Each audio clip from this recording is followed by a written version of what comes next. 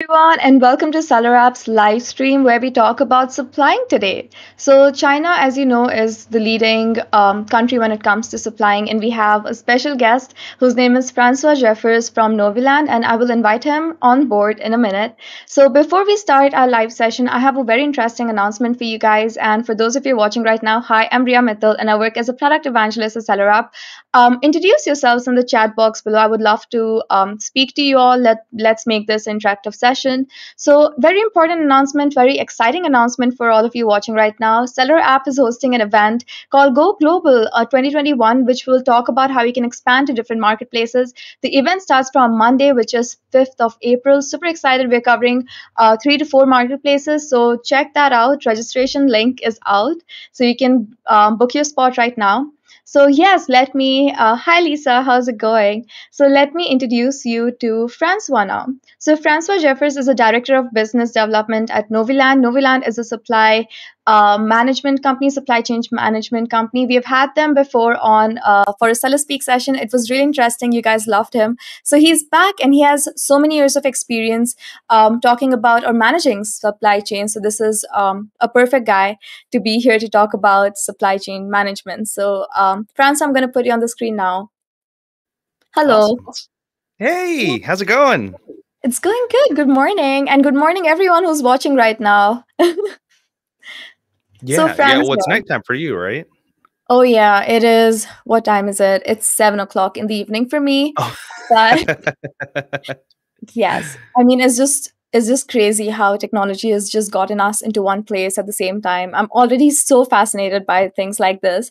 And uh, Francois is also a co-host when it, uh, for a podcast called Link Up Leaders. Congratulations on your podcast. Lisa is here as well. So congratulations on your post- podcast. It's amazing. I have Thank watched you. a few episodes yeah. Yeah no it's it's been a, a, a fun journey i think really going from uh, uh, being on podcasts and being able to talk and and i think you know a lot of those that i talked about including yourself we had some amazing conversations. So we were like well why don't we just continue these conversations whenever we're not invited on podcasts and just have our own podcast? Um, so it's been a great journey. Lisa's an amazing co-host. She keeps me on track which is the most yes. important thing. So it's uh you know I, I tend to go into rabbit holes, which I'm sure we're going to go into today because Lisa's not going to correct me um, and keep me on track. Uh, but I- I'll try to keep it as on topic as possible. Oh, don't worry. I'm here to take over her position for today.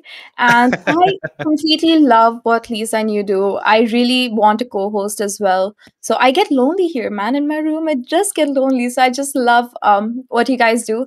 So, just introducing everyone to today's topic, we are going to be talking about uh, some common mistakes that suppliers make when they are sourcing from China. So, of course, when an Amazon seller starts their journey, uh, we see that they want to decrease their cost and increase their margins. And a way of increasing margins can be to get the production cost down, which is usually done by outsourcing your manufacturing. So when you outsource from China, uh, if you're manufacturing electronics, of course, China is so much cheaper for you to outsource from. And of course, if you're uh, looking for eco-friendly products or if you're looking for handicraft products, India is leading in that. Thank you, Meghla, for teaching me all this information. Otherwise, I would have been lost. So yes. Thank you for teaching me that. And um, Francois has so many years of experience, um, you know, building relationships and helping sellers get the supply chain management on point. So I'm sure that you know and you've seen all the mistakes that sellers do when they are supplying from China for the first time. Uh, hi, Jose. Thank you for coming back. So, yes, uh, Francois, let's talk a little bit about supplying from China. Yeah, yeah, and I think a lot of these same principles will be able to be applied, uh, whether it's sourcing from India or Vietnam, uh, or really anywhere else in the world. Uh, I, I, think the fundamentals are the most important part. Um, now, of course, the way that you interact with all the suppliers is going to be slightly different, um, and I would highly suggest checking out, you know, Meghla's show. I think it's a virtual India uh, sourcing or trade show. I think it's virtual um, India. I learned cool. Yeah. Yeah, I, I, learned a ton from her when it comes to India. So definitely, I would suggest checking it out. Um, her name is Meghla Bhardwaj, and so, but when it comes to sourcing in general, we can start all the way from the beginning, sort of an initial Amazon seller's journey and how they're developing, you know, the product requests for quotes, uh, gathering all the specifications and details, thinking through packaging all the way through uh, factory interactions and how to continue developing those relationships. So, if anyone has questions about anything that I say because I tend to talk a little quick. Uh, definitely tell me to shut up and slow down, or just yeah, ask me to elaborate. Um, I have no problem with that at all. Um, so yeah, I, I, mean, I have worked with uh, at this point probably thousands of, of e-commerce businesses and spoken with them about you know just the request for quotes or about their general projects and um, over time, we have developed this sort of request for quote or this RFQ guideline uh, that does help them with their journey. But whenever an Amazon seller might start out, let's say they start out on Jungle Scout or Helium 10 or any of these other, uh, I, I, believe Smart Scout is a new tool that's coming out. Uh, also, uh, that that's going to be um, helping with market research. But an important thing to note is that that's just one part. You know, finding the product that you want to sell and, uh, you know, assessing your competition, uh, finding the right keywords. That is all sort of the sexy side of Amazon, right? That's the part that everyone wants to talk about, uh, but no one wants to talk about what the actual hardship of supply chain is. And so they might select an amazing product. They look at the one star reviews. They see the improvements that they can make on them. Uh, they understand, you know, um, what people like about it, what people don't like about it. Uh, maybe they could change the material slightly, or maybe they can add a complementary product uh, to make it more of a little bundle. And so they can attract more keywords. Uh, but there are struggles that come along with all these things. Uh, so it's important to, to, to keep all of this in mind. So when you're starting your journey, you pick out your product. It's important first to look at as many different products as possible and looking at those one star reviews um, and making sure that you know whatever people are complaining about or that they don't like about these products you're going to be able to improve on or provide some added value or maybe even address in the listing itself uh, as to how your product is going to uh, sort of take care of these issues. Uh, but also looking at the technical specifications. So scrolling to the bottom of that amazon listing or googling the product let's say you're looking for these types of tumblers. And i've seen it far too often where someone just says i'm looking for you know, a metal tumbler and it has to be insulated and the top is plastic. Well, what does that mean? Right? There's thousands of tumblers out there that, you know, there and there's hundreds, I'm sure, of factories that can actually make them. Um, so it's important to note, you know, hey, I really like this design that closes, and I can send you pictures and uh, some of the specifications for, you know, the the dimensions of them. Uh, if it's a screw top, understanding, you know, how thick that screw top actually is. Um, and then you know if it's a, a, rubber handle making sure that you understand you know how far down that actually is how long should it insulate? So if it should insulate you know six hours or 12 hours uh, i've seen some awesome ones out there that are like 24 hours. I'm like how do you even do that? Um, but Perhaps factories are able to yeah yeah. It's um i i think it's all just um not necessarily a marketing ploy, but uh, a lot of it is trusting their suppliers and trusting what their suppliers will tell them. Uh, so if their supplier tells them, yes, it should cover 24 hours, sometimes they might not have tested it if they're working with a smaller supplier. Uh, but that's where understanding what, let's say, a double wall stainless steel insulation would cover, right? And understanding sort some of the mechanics behind the product. Um, so I always suggest that sellers when they're developing these specifications they do as much research as possible which is very boring. It's not as easy as going on jungle scout not as easy as going on helium 10 or viral launch or any of these market research programs. Um, but it is necessary. So mm. as you go along you can start to make a document and that document can hold some of the different materials and, and it can hold maybe the dimensions and the colors that you're looking for. Um, including also, you know, what is the target price that you really need to get this at? If you know you have to sell it for $15, you know, do you have to source it at around three, four dollars? And then, you know, how much is shipping going to be? How much are FBA fees going to be? Um, so I would highly suggest Googling. I'm sure there's a few calculators out there, but Googling some of these FBA fees and, and Amazon fees that you're going to be encountering to come up with this target price. So that's one of the first things to do when you're when you're deciding on a product. Um, then coming up with a budget. And this is something that you can definitely speak with your accountant about, but it's far too often that I do speak to new sellers and they just say, Well, I have no budget. Well, what does that mean to a factory? That means, wow, this guy's going to order a container load of product because he has no budget. Um, so you want to make sure you're starting to set those expectations right with them uh, and you start to be honest and you start to come off very professional. Hey i don't just want 500 units i want 500 units i want the target price to be around you know five to six dollars and i have an overall budget of about four thousand dollars and that includes shipping.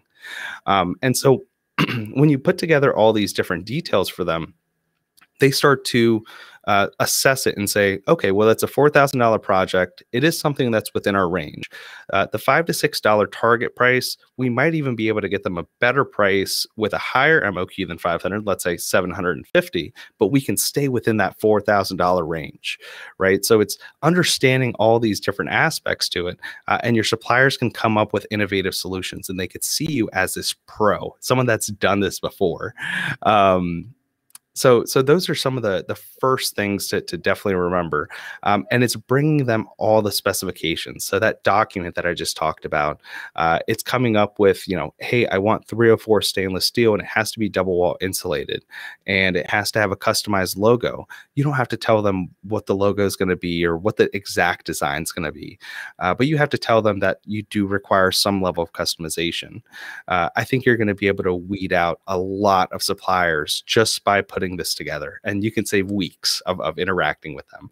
Um, yeah so, um, yeah it's uh, you definitely have like this is why we need someone to talk about sourcing because i didn't know you could read out suppliers but just by asking for customization. So i thought all the suppliers that you go to will be ready to do customization but then it's all coming back to me when you said that uh, you know people um, sellers don't even realize that they have to pay extra for the customization mold and that's not something that your supplier is gonna cover in charge so I've, the whole conversation is coming back to me so yeah thank you for enlightening me and for people who are trying to start their Amazon journey, SellerApp has some really great tools that you can use. We have product research tool. We do calculate FBA fees for you, and we do oh, calculate. There you go yeah, and we do calculate estimated sales as well. The sales estimator is a free tool. You can use it.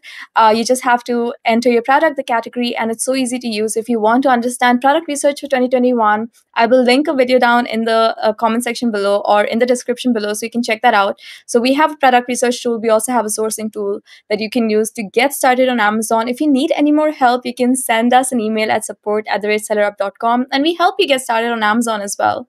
So yeah, that's just a little um, tweak on what SellerApp does. Also, Francois, Meghla is here. She says, uh, Oh, wow, I just joined and heard my name. What a coincidence. Facebook user that is Meghla. Hi, Meghla. Thank you for being here. We love you. Hey, Meghla. Huge fans. I recommend her to just about anyone that China is not strong in. So if they are talking about textiles, or we had actually a few users that were requesting mango wood uh, for certain yeah. products very strong in India. And realistically, any suppliers are that are in China and say, yeah, yeah, we're really good at it. We're really good at it. They're lying. They're just trying to get you hooked. I mean, that's that's a crude honesty of it. Uh, so uh, you know, it's it's something where I will tell them, hey, let me connect you with Meghla. She has a great network. Uh, so anyone that's listening, 100%, if you're sourcing from India, check Meghla out. Check out all of her content. She, she's amazing. I hope you have her on here. Oh, you did have her on here she is here. Not too long ago. Yeah.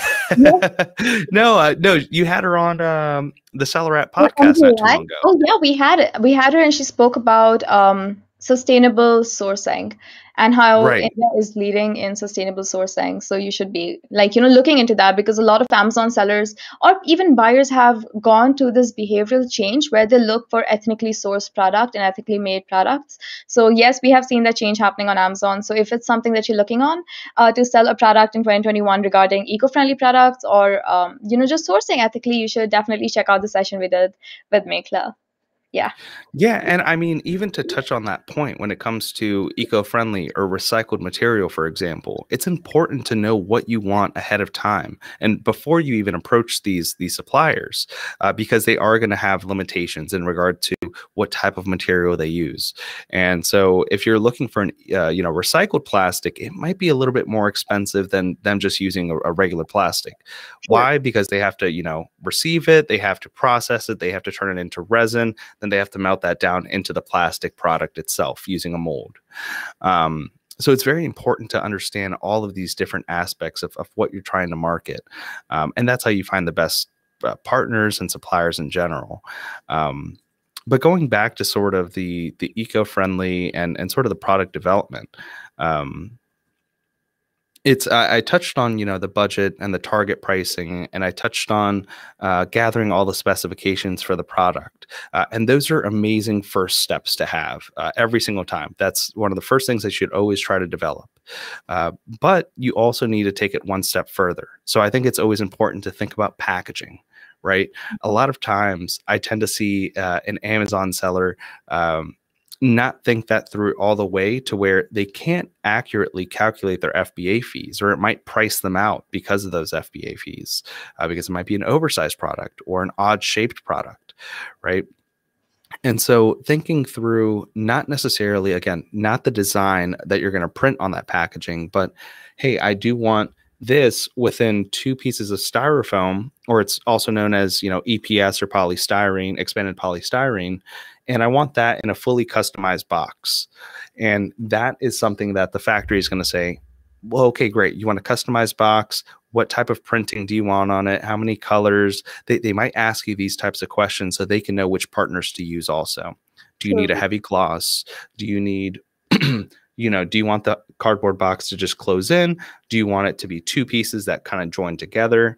Uh, that's all going to affect what partners they're going to be able to to use, right?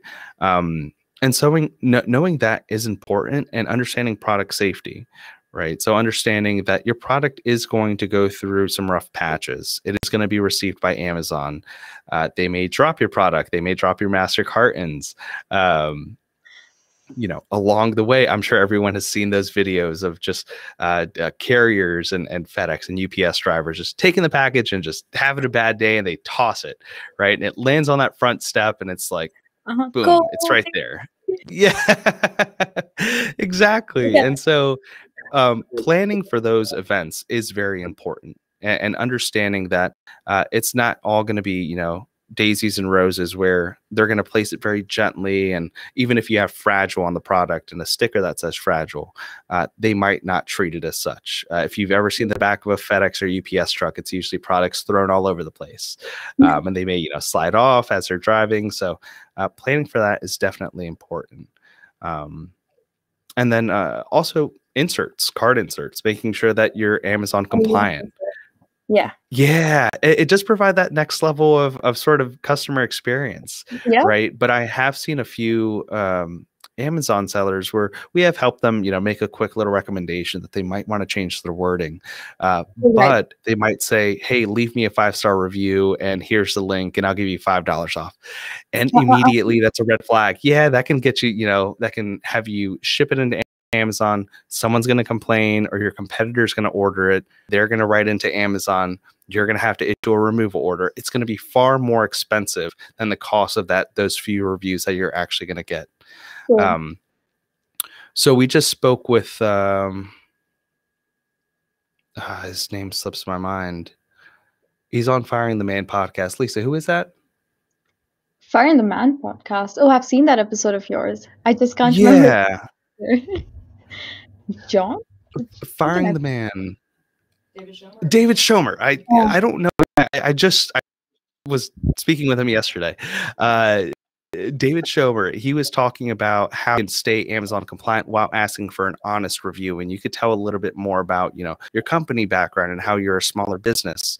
Um, and so I, I know, you know, on one of the podcasts that we have with him for uh, the Link Up Leaders podcast, we we will also mm-hmm. link, you know, his um, his his template for what he has for a five star review. So that that that is something else that um you know you could definitely do uh, when it comes to card inserts. But uh, and just not to skip over the card insert part because I, I see this be a, a, big mistake of a lot of sellers. But that's understanding the size of it too, understanding the paper weight and the you know it's called the GSM or the grams per square meter of that uh, paper understanding if you want a matte finish or a gloss finish uh, you know uh, understanding all these different aspects and you can google all these.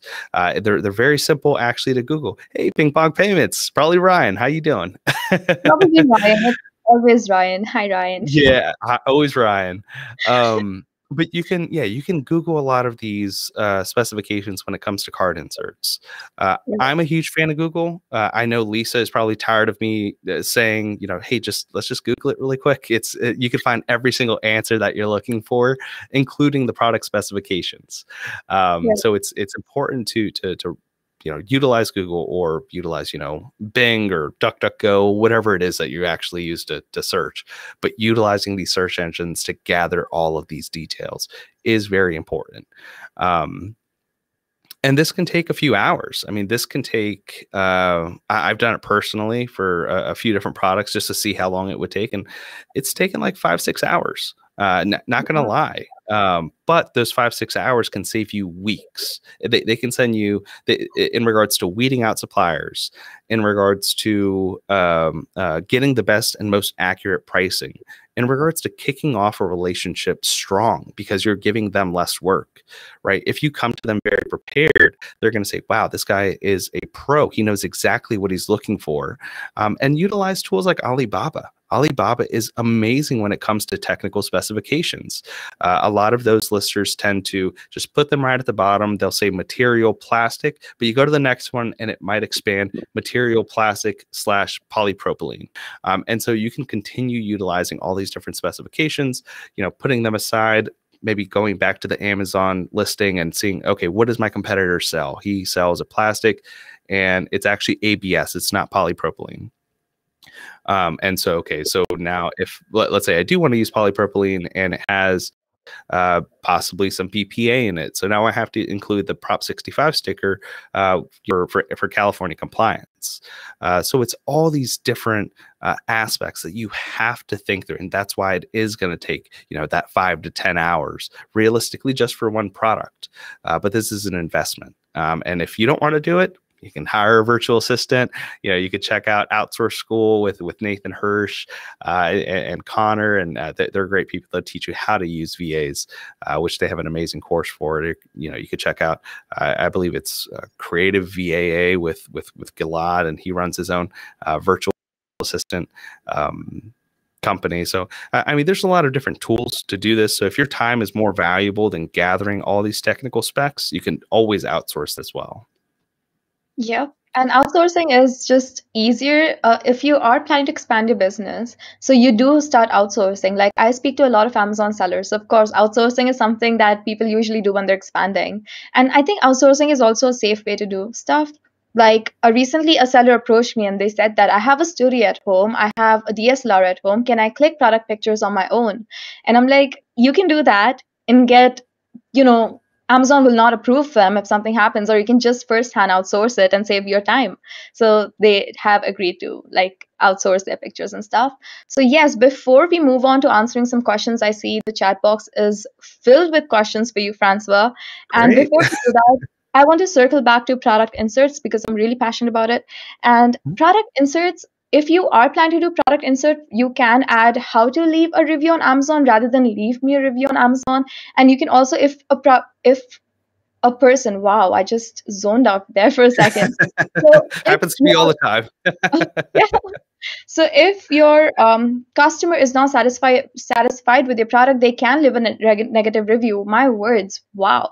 So they can leave a negative review. So you can tell them that, hey, if you're not satisfied with the product, here's a 50 or 5% off coupon, and you can purchase from us again, or you can write an email to this, this, this. This will prevent them from giving you a negative review. So no review is better than negative review. I feel also re- received um, product insert which was a coaster so you know i still use it it had like the branding on it the company's branding on it and i just kept it on my table and then you keep cool. like you know that's so smart because you keep getting reminded of the purchase that you've done so i think that's a really especially coasters or something that people can use in their day-to-day life mm-hmm. it, it makes a lot of difference that's what i've seen so yes francois let's answer some questions first of all hi everyone who's there in the chat right now what's up ryan so um, let's take some questions. So Harry, hi Harry, welcome back to SellerApps Live.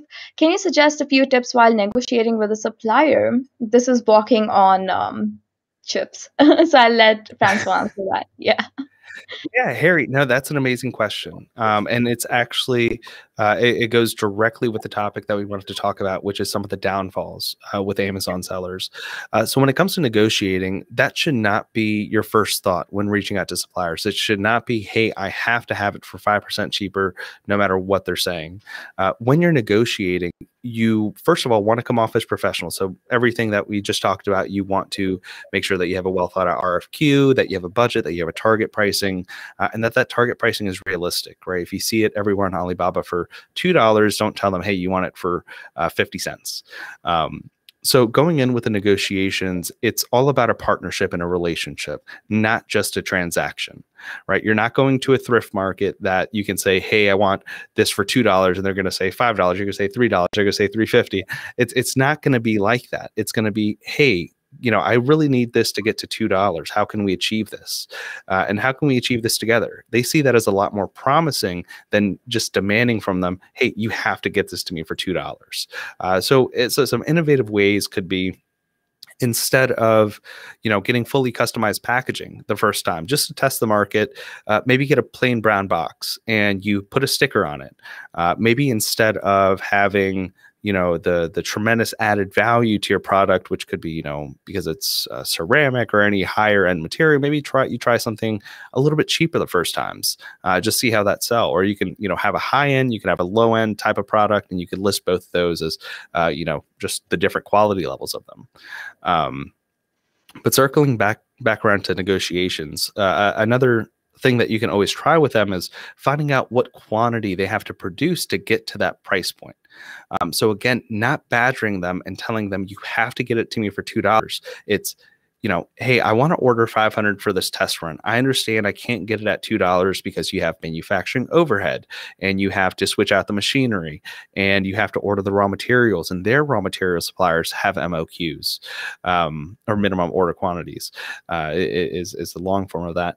Um, and so when you when you take all these things into consideration, labor cost also taking all these things into consideration, uh, you need to realize that they might not be able to sell that to you for two dollars uh, that first time for 500 units. So how can you make that happen? So let's say they come back to you it's a firm three dollars at 500 units. There's nothing that we can do about it. Well, at three dollars, let's let's do this cost assessment using the SellerApp tool. Uh, using the SellerApp tool, you're able to uh, you know see your FBA fees and and and re- re- correct me if I'm wrong for any of this, but I, I would believe that you can see some of the FBA fees and Amazon fees that are associated with it. Is that right? Yeah, you can. Okay. I wish I could share my screen, but like um I'll lose the control over Restream. Okay. So I mean, yeah. So we do have something called Profit Dashboard and Product Intelligence. So if you go to Product Intelligence, if you're using our tool, you can see everything that you need to know about your product, including your FBA fees as well. So yeah, and Amazon selling fees. Perfect.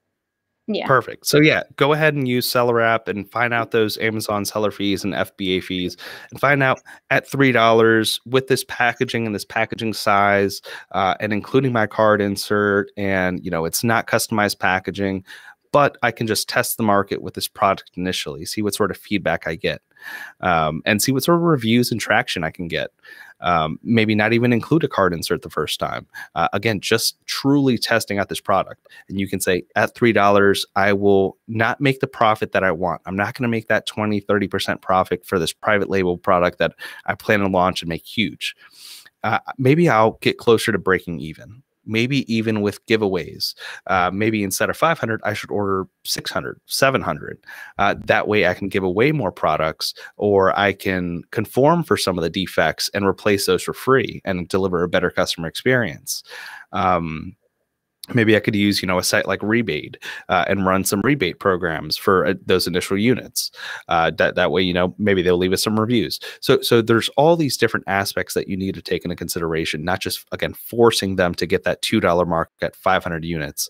Uh, working with them, okay, 2,000 units we can get to 250 what else can we do with this uh, can we provide some added value or some complementary product to this mug maybe a coaster maybe a coaster would deliver a better experience uh, and a coaster can be less than you know four or five cents. Uh, well now let me add this to the packaging and now let me market my product with this something that my competitors don't have and i can charge an extra dollar. It'll make up for those 50 cents that you pay. Um, so it's it's not so much negotiating on the transaction it's negotiating with the relationship i i, I think that uh, sort of is my answer and i hope i answer that well harry but definitely follow up and uh, check in with me um, if you know that doesn't work also Perfect. I think that answered quite well. So let us know in the comment section below, Harry, if that answered your question or not. Moving on to the next question, which I'm really excited about. So, hi, Matthew. Um, could you explain the ways to ship products from China to Amazon's warehouse directly? Yeah, yeah, and it's um, it, it it's actually a lot simpler uh, than most businesses think. So, creating a ship shipping plan in Amazon, they make it very simple. Uh, you create your shipping plan, you let them know it's going to be L because more than likely, you know, if you're not going to be a full container load. Um, so you say that it's LTL, and when you're include you're putting your ship from address. This is a, a, very big mistake that I see a lot of sellers make. They'll use their Chinese manufacturer's address uh, when in reality they could, yeah, and it's it, it throws everything off in the Amazon platform, and, and they you know often assign you a, a, a funky Amazon warehouse, or they might ask you to distribute it to a few a few different ones. Um, but your ship from address should be a local warehouse in the U.S. or the address of a headquarters. So, for example, we ask all of our users that they use our California headquarters address uh, in in Silicon Valley because they tend to get a California warehouse when it comes to Amazon FBA. So, um, Amazon does sort of assess where that ship from address is, and then they assign you uh, a designated warehouse, and they may still split it up. You know, if you are new. Um, but so use that ship from address, uh, a domestic address for that. Uh, you get a higher likelihood of getting a, a local, you know, uh, fulfillment center in that in that region. Um, and then you would uh, you know get your stickers. You would be able to have your master carton labels because you know the dimensions you know the weights you know how many units go per master carton uh, you'll also get your fnsku labels from amazon. Uh, and then you may also be getting your pallet uh, labels from amazon. Um, you would send all of this to your supplier. The FNSKU labels definitely you want them to prep that for you beforehand. So let them know that ahead of time also. Uh, and then when it comes to the master cartons, that's something you can either work with your supplier or your freight forwarder. I would suggest working with your supplier because once your freight forwarder has your goods, they're not necessarily incentivized to actually prep them for you. They just want to ship them to wherever the final destination is. Um, so working with your supplier to, you know, have a set 20 units per master carton, less than 50 pounds, less than 25 inches on any side. Uh, I, I, think it's 25, but I know it's definitely less than 50 pounds. Um, and so, you know, again, going back to Google, just Google mm-hmm. Amazon FBA prep requirements. Mm-hmm. And I promise you, it'll be the first one that comes up. It says sellercentral.amazon.com, I think, and it's a whole long uh, URL, but it, it walks you through that entire process too. Um, and then from there, your you know your forwarder or your supplier depends if you're getting DDP Incoterms.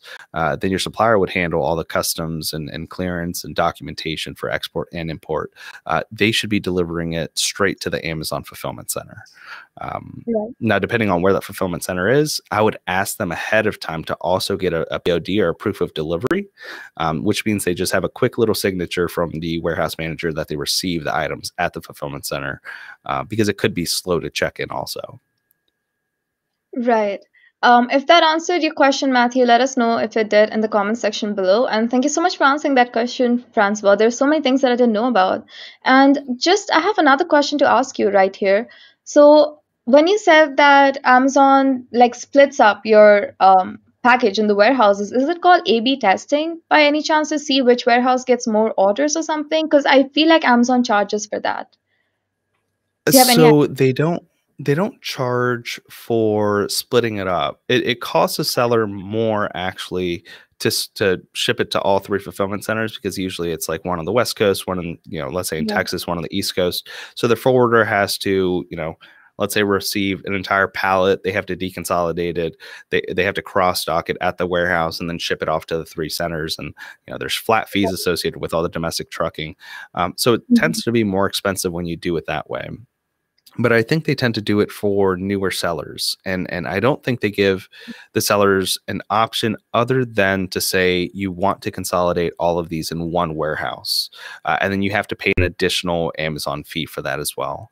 Um, but I don't know. Yeah, I I, I, would assume that they do it so they could test it, so they can say, mm-hmm. okay, the West Coast warehouse works the best. Uh, I see this most frequently happen when a seller uses a Chinese manufacturer's address as a ship from address, um, yeah. and not when they use a domestic address. Okay, so thank you for clearing that out. So let's take the next question. Um, Good morning, guys. That's by Jesse. Hi, Jesse. I have a quick question. Should I keep the commercial invoices from my supplier in case of a tax audit?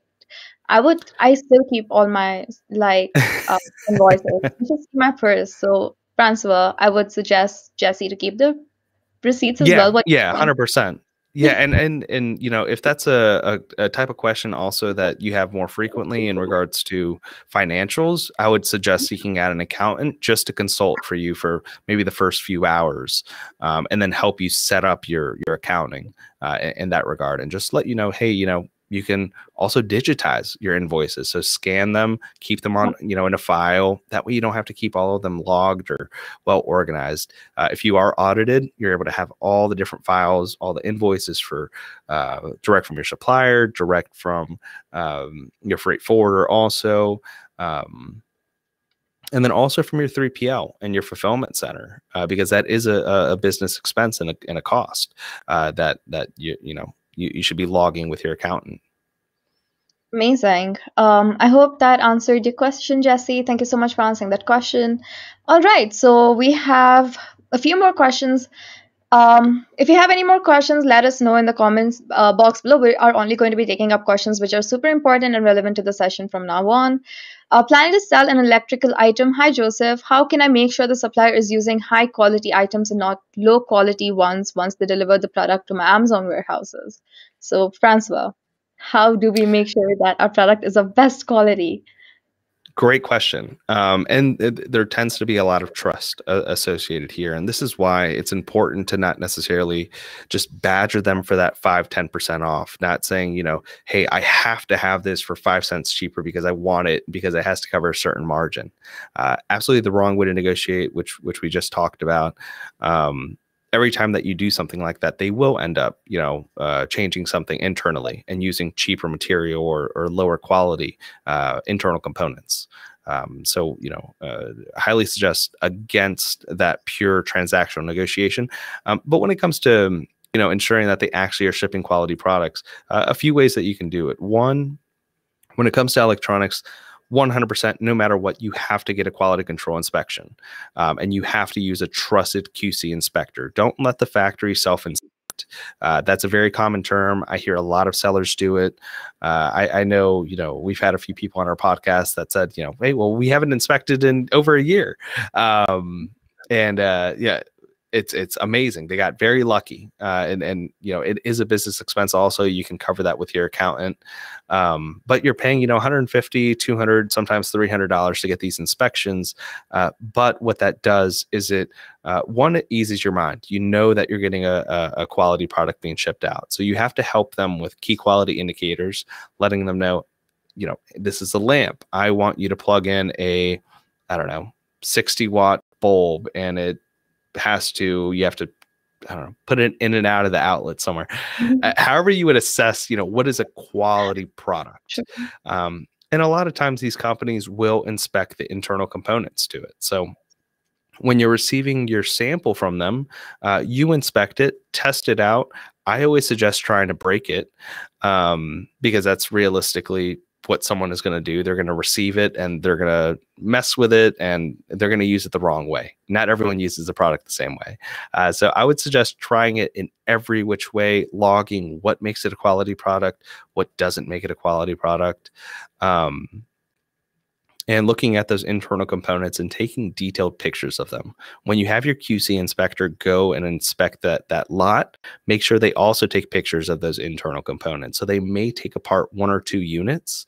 Um, usually, it's it's not more than you know two to five units out of 500 to thousand units.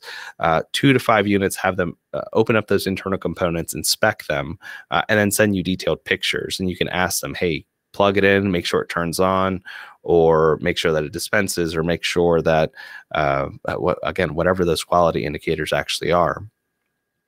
Um, and, and, then another thing that you could do is have a portion of that lot shipped to your house or shipped to a to a U.S. domestic uh, 3PL, and they can inspect those for you. Uh, if you don't yeah. trust, you know, the inspection overseas, or you think that you know the product is getting jarred around in, in the container or whatever the case may be. Uh, so you can get a portion of those shipped directly to you. It is going to be a little bit more expensive uh, when it comes to, to shipping, uh, but what you can also do is if you know you have defects you can fulfill those defects directly from from your place uh, you can mess around with them make sure that out of 100 units all 100 work uh, or if one or two don't work then okay you know that you're averaging about a 1 to 2% defect maybe on your next order with the supplier you add that that rate in so if you're ordering you know 100 you add in an extra one for every 100 units that you order um, and so th- these are just a few tips. Uh, there's no right answer uh, is the issue. There's no cookie cutter answer because every product is going to be different um, and testing those methods is also going to be different. Um, but samples you know shipping it to yourself quality control inspections at the source um, having you know additional units for returns or defects because typically with electronics you see a higher rate of returns and defects. Uh, a lot of times. I mean i admittedly so I have received an electronic i'm like this thing doesn't work. Uh, and hmm. then you know my girlfriend goes well did you read the instructions? I'm like no i didn't read the instructions. Read the instructions? And then i'm like oh okay whatever it works. Uh, i'll keep it i won't return it. Um, but yeah these are just a few solutions when it comes to electronics Right. So we had a session with Sajak Agrawal um, specifically on quality control when it comes to supply chains. So you can definitely go on uh, YouTube and type in Sajak Agrawal and SellerApp, and you'll see the video that I'm talking about. He said that he spent some years in China on the quality control floor, um, you know, and he said that many quality control inspectors are supposed to spend somewhere from six to eight hours inspecting products, but then they come in, they spend, let's say, an hour or two, and they right. do a really bad job in inspecting the products, and then they just leave because apparently no one wants to do their job. So, if you want to understand how you can get better quality products, uh, Francois has mentioned some very good points. Uh, especially, I really like when he said you can get that shipped to a 3PL inspector in your home country, which can you know be more it can cost you quite a bit but then again it's an investment that as you said. So that's something you can do and check out that video if you want more tips. So moving on to the next question. Thank you for answering that francois. Mm-hmm. uh, it's, it's by a facebook user. I'm not sure if it's Makela i'm not sure who it is. But 1688.com con website is better for sourcing or not. I've never heard of this website. What about you francois yeah, 1688 tends to be more of a mm-hmm. domestic website uh, that a lot right. of uh, uh, Chinese citizens uh, within mainland China use to to buy products, um, and you could find some amazing trade agents and even a few, uh, actually a lot of manufacturers on there. Um, now, you need to keep in mind that these are manufacturers and trade agents that are typically catering to the Chinese market right? So you need to make sure that if you have certain specifications, like a t-shirt needs to be large or you know it's plastic, make sure that you have you you tell them, hey, this has to be ABS plastic, grade A, or just make sure they can meet all the different certifications and requirements. Uh, I would also highly suggest using a sourcing agent to interact with these uh, suppliers on 1688. Uh, so sourcing agents can be a huge asset. I, I, know some people just see it as they're eating into my margin, uh, but two things that I can say to that: one, they help you uh, scale up. Uh, so they can help you, you know, outsource a lot of your operations. Uh, and two, they can be your reliable partner overseas, right? They can be your boots on the ground. They can help you understand the the culture a bit better. Uh, they can sort of take away what the factory or the manufacturer, or the trade agent says, and they can interpret it correctly. So if the just a factory saying, "Yes, I will abide by your ten percent, uh, you know, discount because that's what you want," what they might think is okay, well, what are you going to do to to get to that 10% off? like, how are you going to reduce that price? Because most yep. factories don't have these large of margins. Um, so they might look a little bit more into them. They might find out it's a trade agent. So they have a bit more mm-hmm. margin that they typically tack on. Uh, or they might say, hey, factory XYZ, how are you going to do this? Um, and the factory is going to say, well, you just said you wanted 10% off. So I'm getting you your 10% off. But by the way, we are using a cheaper grade of plastic, uh, and we are going to use, you know, I don't know, smaller components. Um, and that can help you, you know, uh, your, your, speed to market rapidly uh, by using a sourcing agent. Um, particularly when it comes to sites like like 1688 or DHgate, um, which are great you know, sources and tools that you can also use. Um, or you can use a sourcing company and skip all of that like Noviland. Had to plug ourselves in there for a second. yes, I think it's way better because even when you're doing your listing optimization, I'm speaking from um, listing optimization point of view. When you're translating listings for different marketplaces, it's you know you can either use Google Translate, but a lot of meaning is lost in translation. So it's better you um, hire someone and outsource an agent who speaks that native language, so they the the meaning is translated one on one, so nothing is lost in between. So this is what I suggest. I'm I'm sure that it's the same thing when it comes to sourcing as well, because translation is a very tricky subject. Right. Yeah, yeah, and having a, you know someone that that can be your champion, right? They they can be your your partner in crime when it comes to sourcing, and they can help you get those better deals. You know, you might be paying uh, five percent on top of whatever you're getting from that factory, but they're probably able to negotiate better terms, uh, better prices, better materials, better quality, uh, and the factory appreciates it because they're like, well, you know, hey, you speak Mandarin. I speak Mandarin. We can actually communicate. Right. I don't have to wait an yeah. entire night um, to you know make a decision. Uh, so so there's a lot of benefits that also come along with it. All right. Thank you so much for answering that, Francois. And we are going to take two more questions before ending the session because, to be honest, it's almost 8 p.m. here. and I'm Oh wow! Yeah. Yeah. yeah. It time flies by when you're having fun. All right, Jose. So Francois, hi Riya. Um, I want to know if it's better to do packaging with the manufacturer or should I package it after it arrives in my country?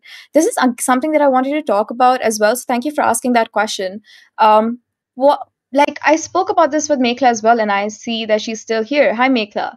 So um, when we talk about eco-friendly packaging, and this is a dilemma that a lot of Amazon sellers face, that you know their package, uh, their packaging, uh, their product is eco-friendly, but then Amazon expects them to put them in the cardboard box and then ship it to someone else. So it's like a lot of wastage. So this is a lot. Uh, this is a dilemma that most of the sellers who are selling eco-friendly products face on Amazon.